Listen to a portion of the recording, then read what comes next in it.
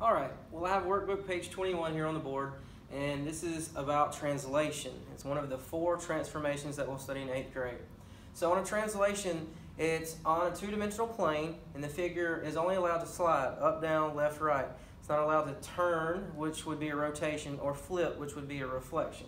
It can only slide and stay in the same orientation that it's already in. So on number one, if you needed to go four units to the right and six units down, you would do that one point at a time. For instance, take point A and go four units to the right. One, two, three, four, six units down. One, two, three, four, five, six. Put your dot and label that A prime because it's the new image, it's the prime image. B, and remember, where you start is zero. You don't go to one until you get to the next line. So B, I'm going to go four units to the right. One, two, three, four. Six units down. One, two, three, four, five, six. And that will be B prime.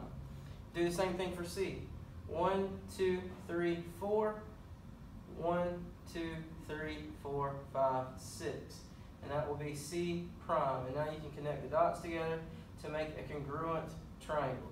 It's identical to the original. It's in the same orientation. Everything's the same except for it's been moved four units to the right and six units down.